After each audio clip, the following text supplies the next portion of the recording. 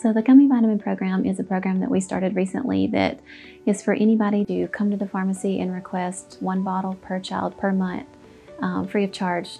We don't ask any questions. There's no qualifications required, um, and that's been wonderful. There was a mom who came through the drive-through and she asked for the multivitamins and she had six kids. And so we went and got six bottles and we took them to her.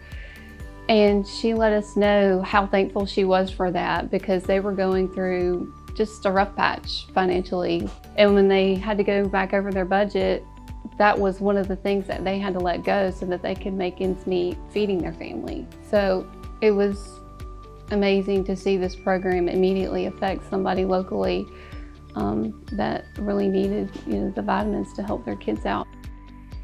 They are bioavailable ingredients. There's no artificial coloring or dyes in them and they taste good and I give them to my own children. We're pharmacists and moms and um, they're approved by us not only as a pharmacist but as a mom.